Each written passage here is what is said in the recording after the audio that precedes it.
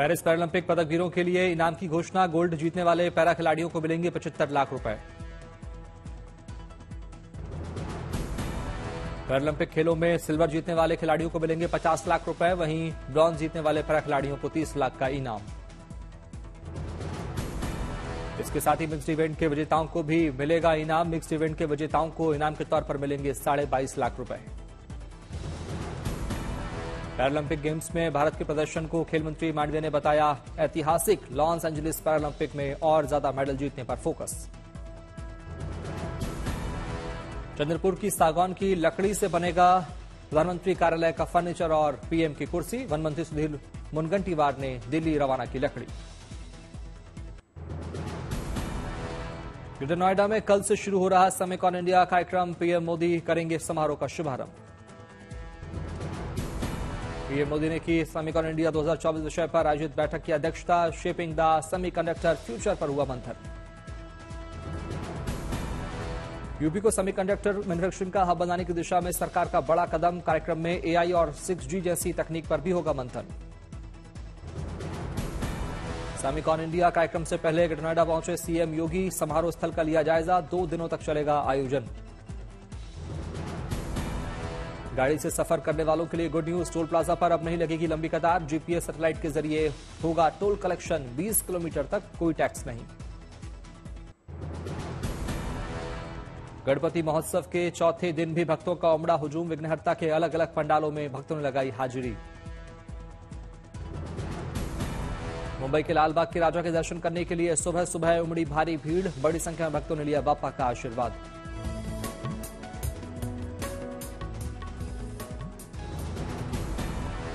लालबाग के राजा के दरबार में आने वाले श्रद्धालु अपनी खुशी के मुताबिक नगद सोने चांदी का चढ़ावा चढ़ा रहे।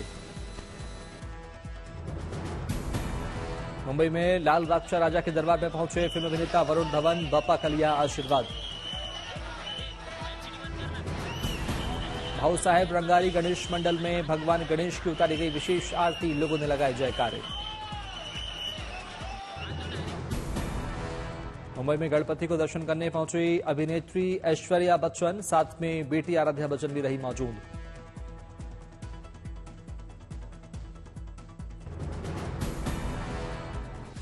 महाराष्ट्र नवनिर्माण सेना के अध्यक्ष राज ठाकरे ने किए बप्पा के दर्शन, गणपति के पंडाल में जाकर विघ्नहर्ता के सामने टेका मत्था। महाबलीपुरम में बापा को दी गई विदाई, भक्तों ने बंगाल की खाड़ी में किया भगवान गणेश की प्रतिमा का विसर्जन। बेल्लौर में दी गई बप्पा को विदाई, ढोल नगाड़े के साथ गणपति का किया विसर्जन। बेल्लौर में दिखा अद्भुत नज़ारा, एक साथ 500 से अधिक प्रतिमाओं का निकाला गया जुलूस।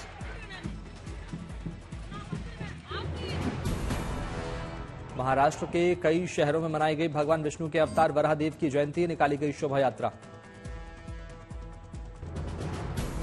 बागेश्वर के प्राचीन भ्रामरी माता मंदिर में की गई विशेष पूजा तीन दिन तक चलेगा मेला। सुबह से माता के मंदिर में भारी भीड़। गढ़वाल और कुमाऊं के श्रद्धालुओं की आस्था का केंद्र है कोट भ्रामरी माता मंदिर। नंदाष्टमी को होती है माँ नंदा सुनंदा की पूजा। माता भ्रामरी से जुड़ी है कई पौराणिक मान्यताएँ। तीन दिन तक दूर दूर से आते हैं श्रद्धालु। सहारनपुर में माँ शाकुंभरी देवी दर्शन के लिए जा रहे श्रद्धालुओं के दो पक्षों में हुआ विवाद। डीजे की आवाज़ को लेकर दो पक्षों में हुई मारपीट। दिल्ली के एलएनजेपी अस्पताल पहुँचे मंत्री सौरभ भारद्वाज। व्यवस्थाओं का लिया जायजा। साउथ कोरिया दौरे पर राजस्थान के CM Bhajanlal Sharma, Seoul technical high school का किया निरीक्षण। महाराष्ट्र के डिप्टी सीएम अजित पवार का दिखा मानवीय चेहरा, पुणे में सड़क पर उतरकर दुर्घटना में घायल हुए युवक को अस्पताल पहुँचाने में की सहायता।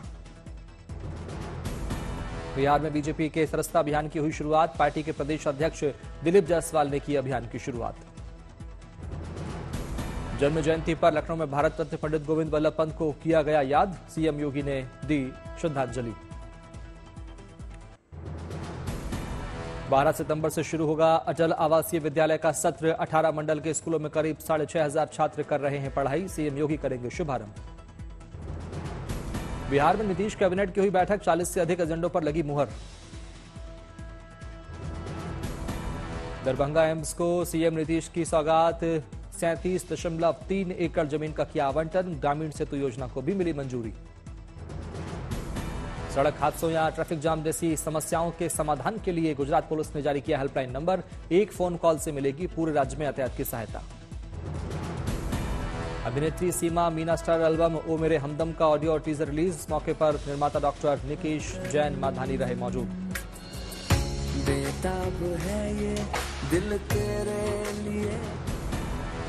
छत्तीसगढ़ के सुकमा में बाढ़ जैसे हालात स्थानीय लोगों का पलायन शुरू रास्तों पर कमर तक पानी। छत्तीसगढ़ की राजधानी रायपुर की सड़कों का बुरा हाल, जलमग्न हुई सड़कें। रायपुर की कॉलोनियों में घुसा पानी, लोगों की बड़ी परेशानी। लगातार बारिश से रायपुर में बिगड़े हालात, पानी में डूबे घरों में रखे सामान। बाढ़ की वजह से बेबस हुए स्थानीय लोग रोज़मर्रा के काम भी नहीं कर पा रहे कॉलोनी के निवासी।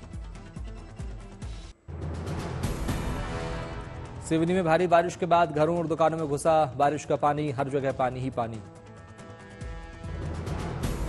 सिवनी में सुबह से हो रही भारी बारिश के बाद कई इलाकों में पानी भरा। शहर के विवेकानंद वार्ड में लोगों के घरों के सामान पानी में तैरते दिखे। लगातार हो रही बारिश से वैनगंगा नदी भी उफान पर आ गई और भीमगढ़ बाँध के छह गेट खोल दिए गए हैं। प्रशासन की ओर से मदद न मिलने पर लोगों में दिखी नाराज़गी। वहीं इस दौरान विधायक दिनेश राय भी कमर तक पानी में उतरकर लोगों का, लोगों की सहायता करते नज़र आए। महाराष्ट्र के गोंदिया ज़िले में रात से भारी बारिश, जलमग्न हुआ शहर। गोंदिया में वाघ नदी पुल पर फंसा एक डीजल टैंकर, सोशल मीडिया पर वीडियो हुआ वायरल। मध्य प्रदेश के मंडला में नर्मदा नदी के बीच में फंसे चार युवक। जलस्तर बढ़ने से नदी में के बीच फंसे युवक। एसडीआरएफ की टीम ने किया रेस्क्यू। पंद्रह घंटे बाद शुरू हुई केदारनाथ की पैदल यात्रा। सोनप्रयाग हाईवे पर भूस्खलन होने से रुकी थी यात्रा। मलबा हटाने के बाद प्रशासन ने दी अनुमति। आईएमडी ने 13 सितंबर तक भारी बारिश की संभावना जताई। उत्तराखंड के बाकी जिलों के लिए येलो अलर्ट जारी किया गया। उधम सिंह नगर और चमोली में भी ऑरेंज अलर्ट जारी। नैनीताल चंपावत, बागेश्वर में बारिश का ऑरेंज अलर्ट राहुल गांधी ने कहा, मैं पीएम मोदी से नफरत नहीं करता, मैं उनके नज़रिए से सहमत नहीं हूँ, लेकिन मैं उनसे नफरत नहीं करता। राहुल गांधी पर केंद्रीय मंत्री गिरिराज सिंह का पलटवार, कहा, तुष्टिकरण की राजनीति करने वाले और सिखों का कत्लेआम कराने वाले अब बीजेपी को दे रहे नसीहत। गिरिराज सिंह ने कहा, राहुल ने कांग्रेस को रसातल में पहुँचाया, जबकि तीसरी बार सरकार बनाने वाले मोदी की पूरी दुनिया में बड़ी है पूछ। पहली बार चुनाव में निन्यानवे नहीं पार कर पाए 400 लिख रहे थे हमारी सरकार बनेगी 300 आना तय है। 300 आना लिख देता हूँ, कहा गया? इसलिए इस थेथरोलॉजी का जवाब नहीं हो सकता। राहुल गांधी के समर्थन में आगे आए टीएमसी सांसद शत्रुघ्न सिन्हा। बीजेपी के राहुल के विदेश में भारत के आंतरिक मामले का मुद्दा उठाने पर सवाल पूछा। इसकी शुरुआत किसने की थी? सिन्हा ने मोदी के बयानों का दिया हवाला। हरियाणा विधानसभा चुनाव में बीजेपी प्रचार झोंकी ताकत। पीएम मोदी करेंगे पाँच मेगा रैलियाँ। चौदह सितंबर को पीएम मोदी हरियाणा में करेंगे पहली चुनावी रैली। कुरुक्षेत्र में जनता को करेंगे संबोधित। कुरुक्षेत्र से लाडवा विधानसभा से हरियाणा के सीएम सैनी ने भरा पर्चा।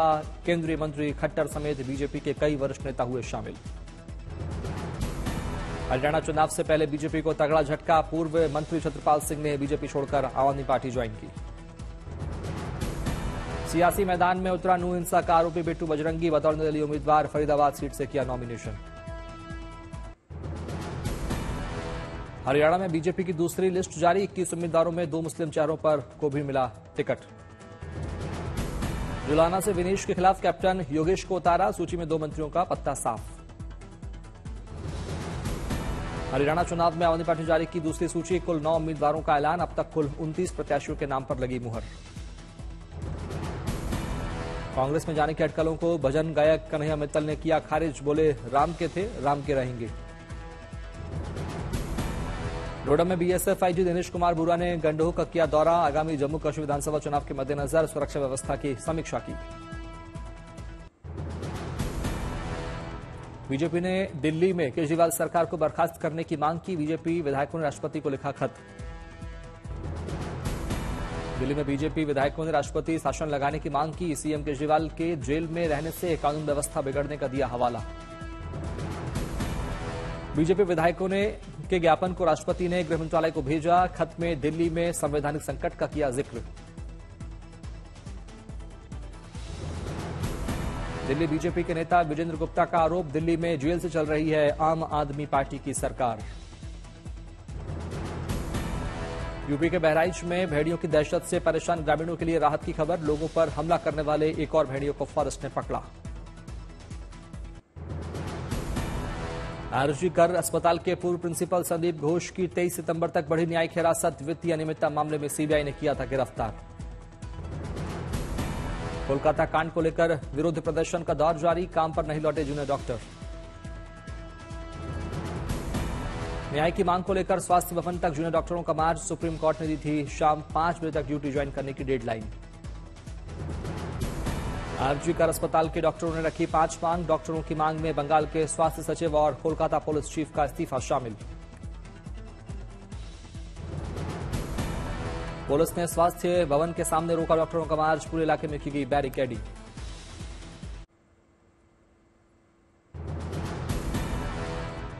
मणिपुर में शांति बहाल की कोशिश जारी। राज्य में 15 सितंबर तक इंटरनेट सेवा बंद। राजभवन जा रहे छात्रों की सुरक्षा बलों से झड़प, पुलिस ने दागे आँसू गैस के गोले। मणिपुर में आरएएफ की फोर्स तैनात, प्रदर्शनकारियों ने जाम की सड़कें। इम्फॉल ईस्ट, इम्फॉल वेस्ट और थौबल में प्रशासन लगाया कर्फ्यू, छात्रों के संगठन ने सीआरपीएफ के काफिले पर किया पथराव। मणिपुर हिंसा को लेकर केंद्र राज्य सरकार का विपक्ष का निशाना, शिवसेना उद्धव गुट की नेता प्रियंका चतुर्वेदी बोली, सरकार को नहीं है मणिपुर की परवाह. यूपी शिक्षक भर्ती मामले मायावती का आया ट्वीट, बोली, आरक्षित वर्ग के अभ्यर्थियों के साथ ना हो अन्याय, उन्हें अपने संवैधानिक हक ज़रूर मिलने चाहिए. लखनऊ में शिक्षक भर्ती के अभ्यर्थियों ने किया प्रदर्शन, डिप्टी सीएम कृष्ण प्रसाद मौर्य के घर का किया घेराव। राज्य में सैकड़ों किसानों ने किया आंदोलन, ज़मीन के मुआवजे बिजली, पानी और सड़क के चौड़ीकरण की मांग को लेकर धरने पर बैठे किसान बीकेयू का मिला साथ। किसानों ने अपनी मांग को लेकर प्रयागराज विकास प्राधिकरण के दफ्तर तक निकाला मार्च। आवारा पशुओं से फ़सल की हो रही बर्बादी की उठाई समस्या। यूपी के श्रावस्ती में किसानों ने दिया धरना। बीडीओ के नौ सूत्रीय ज्ञापन लेने के बाद माने किसान खत्म किया आंदोलन।